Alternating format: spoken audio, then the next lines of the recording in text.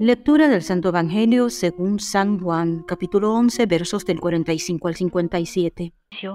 Por la señal de la Santa Cruz de nuestros enemigos, líbranos Señor, Dios nuestro, en el nombre del Padre, del Hijo y del Espíritu Santo. Amén. En aquel tiempo, muchos judíos que habían venido a casa de María, al ver lo que había hecho Jesús, creyeron en él, pero algunos acudieron a los fariseos y les contaron lo que había hecho Jesús. Los sumos sacerdotes y los fariseos convocaron el Sanedrín y dijeron, ¿Qué hacemos? Este hombre hace muchos signos.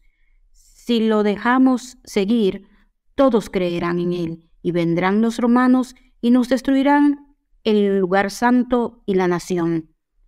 Uno de ellos, Que era sumo sacerdote, aquel año les dijo, Vosotros no entendéis mi palabra, no comprendéis que os conviene que uno muera por el pueblo y que no perezca la nación entera.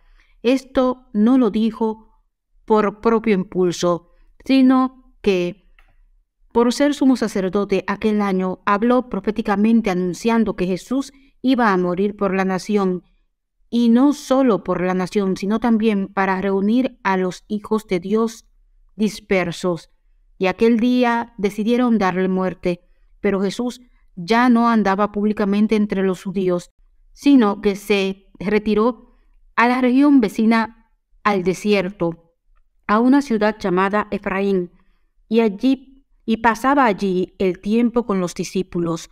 Se acercaba la Pascua de los judíos, y muchos de aquella región subían a Jerusalén antes de la Pascua para purificarse, buscaban a Jesús y estando en aquel templo se preguntaban, ¿qué os parece? ¿Vendrá a la fiesta? Los sumos sacerdotes y fariseos habían mandado que el que se enterase de dónde estaba les avisara para prenderlo. Palabra de Dios, gloria a ti, Señor Jesús.